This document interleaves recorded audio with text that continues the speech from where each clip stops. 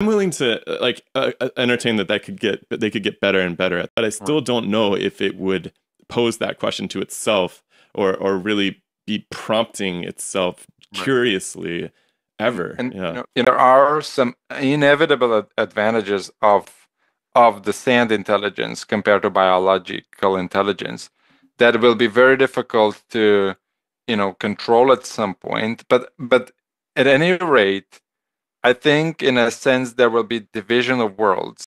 There's the artificial computation that has these obvious advantages, and you know the other the other is not just the human now or the animal the other is now the entire biological world so i, think hope that's you're right. good I hope you're right about that.